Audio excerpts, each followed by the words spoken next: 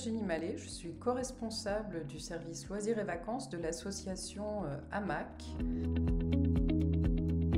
une association euh, qui œuvre dans le champ de la santé mentale, une association euh, lyonnaise qui dispose de, de lieux d'accueil, d'un service d'accompagnement à la vie sociale, mais aussi d'un service loisirs et vacances accompagné pour des adultes vivant avec des troubles psychiques.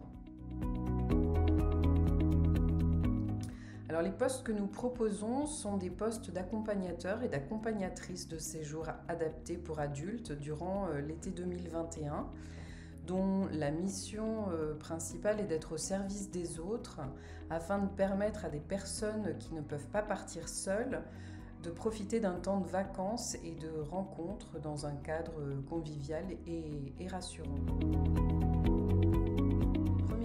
partent le 12 juin et les derniers séjours rentrent le 11 septembre. Et durant toute cette période, vous pouvez accompagner un ou plusieurs séjours selon vos, vos disponibilités. Chaque séjour est accompagné par deux personnes qui auront à charge la logistique du séjour. Elles auront pour mission de dynamiser la vie du groupe, de créer du lien à travers les activités du quotidien de faire avec les vacanciers, entretenir euh, le lieu de vie, euh, faire les courses, euh, préparer les repas, organiser et accompagner les sorties et les visites touristiques. Il s'agit de, partager ensemble le plaisir des vacances, de savoir être à l'écoute et attentif aux besoins de chacun.